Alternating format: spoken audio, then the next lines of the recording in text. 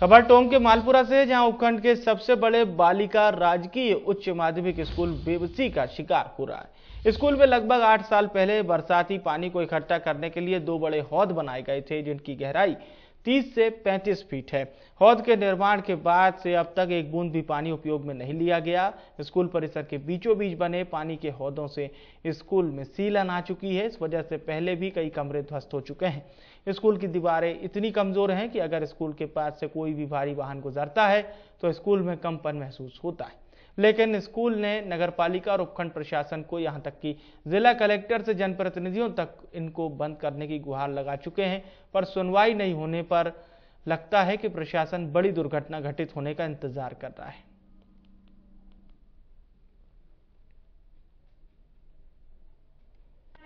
सरकारी योजनाओं को किस तरह पलीता लगाया जाता है? किस तरह आमजन को चुना लगाया जाता है?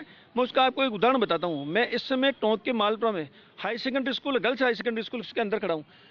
मेरे पीछे देखिए कैमरामैन को दिखाऊँगा। एक आपको गोल चक्कर दिख रहा है। ये होद है, पानी का होद है। लगभग लगभग तीस से पैंतीस फीट गहरा। और इतने लंबे चौड़े वास इस तरह के दो होद पानी के बने हुए हैं। ये नगर पालिका ने इसलिए बनाए थे कि यहाँ स्कूल की छतों पर जितना पानी होता है या मैदान में जितना पानी होता है, उसको सिंचित किया जाए, उस पानी को इकट्ठा करके इसमें उतारा जाए, उसको उपयोग में लेना जाए। आठ साल इन टैंकों को बने हुए हो गए लेकिन आज दिन तक एक बूंद पानी की इसमें से उपयोग में नहीं ली गई है। और सबसे बड़ी बात, इनमें जो पानी भरा हुआ ये कुएँ हैं।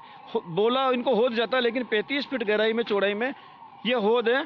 इनमें जो पानी भरा इसकी वजह से पूरे जितने भी स्कूल कमरे हैं, उन सब में सीलन आ चुकी मैं आपको दिखाऊँगा इधर देखिए। ये जो देख रहे हैं आप एक एक कमरे में सीलन आई हुई है और पीछे एक बार कैमरा मैन से कहूँ, पीछे देखिए, नवनिर्माण हो रहा नौ कमरों का। वो नौ कमरे इसलिए रह गए कि इन होद में पानी भरा हुआ मतलब पानी एक बूंद यहाँ से काम भी नहीं आता, केवल भरा हुआ है। और सबसे बड़ी बात, यहाँ शिकायत की गई है, नगर पालिका प्रशासन से की गई है, उपखंड अधिकारी को ज्ञापन दिया गया, यहाँ तक कि जिला कलेक्टर को भी अवगत कराया गया, लेकिन परिणाम क्या है? डाक के तीन बात। कोई सुनने वाला नहीं है। 400 बच्चियाँ 400 बच्चियाँ इस स्कूल में पढ़ती है। कभी भी कोई भी हादसा हो सकता है। सबसे बड़ी बात आपको बताऊँ मैं बात, यहाँ जो नवनिर्माण चल रहा है इसमें अगर कोई वाहन, ट्रक, ईंटें लेके, सीमेंट लेके या जो बिल्डिंग मेटेरियल लेके आता है तो आप मानेंगे नहीं, यहाँ कंपन होता है। कंपन होता है, वो यहाँ के शिक्षक कह चुके हैं कि लगातार, भाई साहब, कभी भी कोई हादसा हो सकता है, लेकिन कोई सुनने वाला नहीं है। मैं आपको चलिए एक कमरा दिखाता हूँ।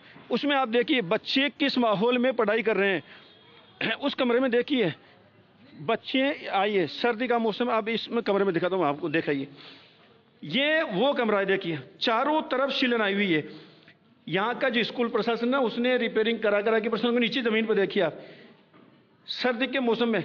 और यहाँ नहीं है, छतें जो है, वो भी जर्जर हो गई है। और केवल इसलिए कि यह जो कुएँ, उनमें पानी भरा हो उसकी वजह से। और एक कमरा नहीं है, इस तरह के काफ़ी सारे कमरे हैं। और बच्चे इसी माहौल में पढ़ने को मजबूर है। इंडिया न्यूज़ का ये कहना है कि कम से कम आप उस पानी को उपयोग में नहीं ले सकते।